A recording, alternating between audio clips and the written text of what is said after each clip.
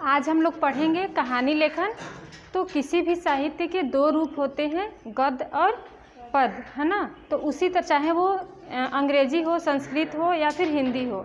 तो उसी तरह हिंदी साहित्य के भी दो रूप होते हैं, गद्य और पद तो हिंदी साहित्य का जो गद्य रूप है, उसके जो रूप हैं वो नाटक, उपन्यास, कहानी, संस्मरण, निबंध और पत्र भी इसी में आते हैं। ये सब जो है कहानी की गद्य विधा के रूप हैं। तो कहानी के गद्य विधा के जितने भी रूप हैं, उसमें कहा, हिंदी साहित्य की जो गद्य विधा है, उसमें कहानी का महत्वपूर्ण स्थान है। तो कहानी जब हम पढ़ते हैं, या फिर हमको पता चलता है कि हमको कहानी सुनाया जा, सुनाया जाएगा तो हम बहुत उत्साहित होते हैं उसको सुनने। सुनने के लिए या फिर पढ़ना होता है तो पढ़ने के लिए कि कैसी कहानी होगी है ना? तो कहानी पढ़ना और सुनना सबको अच्छा लगता है। तो कहानी जो लेखन होती है वो एक कला है। कहानी लेखन एक कला है।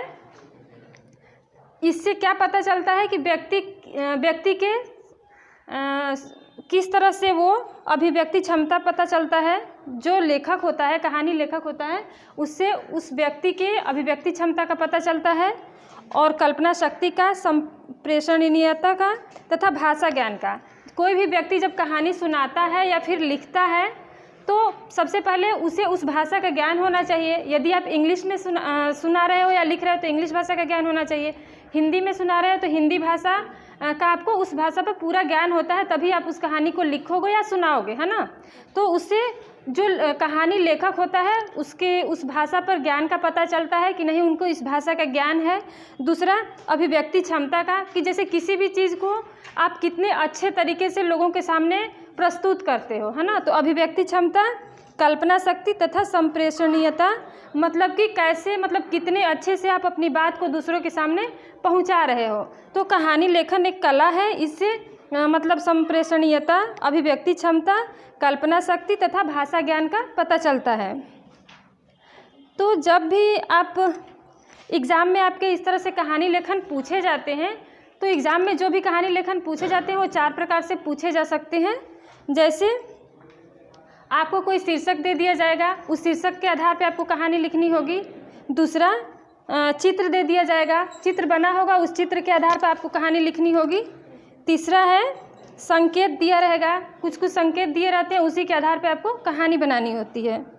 और चौथा है कि आधा कहानी लिख दी गई होती है और आधा उसको कंप्लीट करना होता है आपको। तो अधूरी कहानी को कंप्लीट करना होता है। तो इस तरह चार तरीके से आपको एग्ज़ाम में प्रश्न कहानी लेखन आ सकता है पूछने के लिए। तो जब भी हम कहानी लिखते हैं तो उसे हमको निम्नलिखित बातों का ध्यान रखना चाहिए। जैसे कि जब भी हम कहानी लिखते हैं तो वो भूतकाल में होनी चाहिए।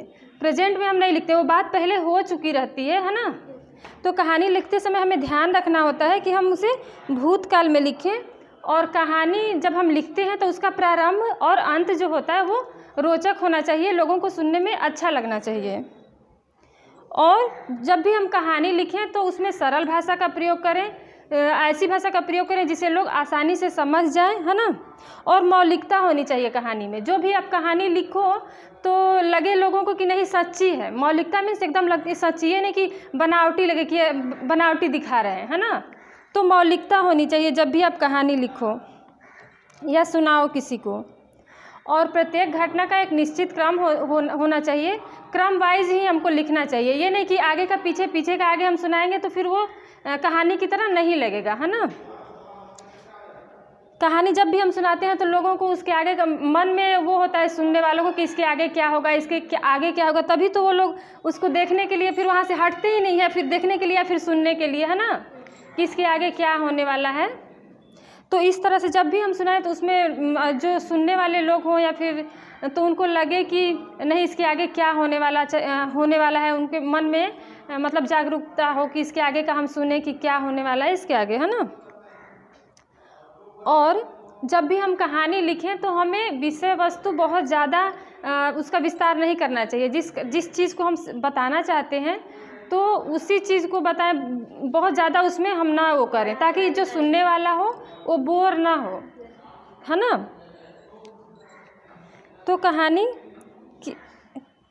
में विषय वस्तु का अनावश्यक विस्तार नहीं होना चाहिए। और कहानी जो होती है, उससे हमें शिक्षा मिलनी चाहिए। कुछ ना कुछ उसका शिक्षा उससे मिले।